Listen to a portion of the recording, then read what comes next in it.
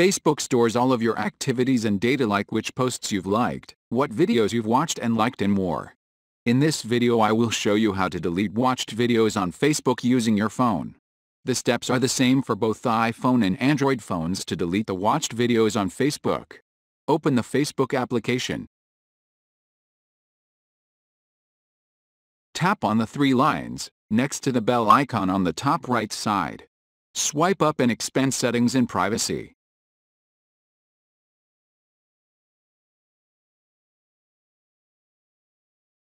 Then, select Settings.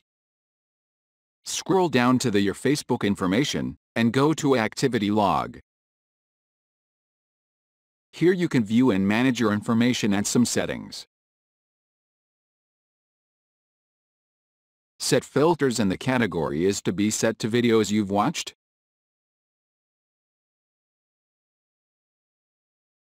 Click on the logged actions and other activity next.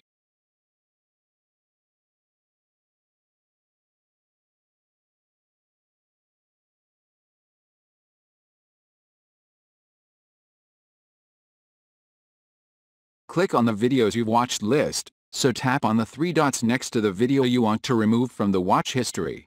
Then, tap delete.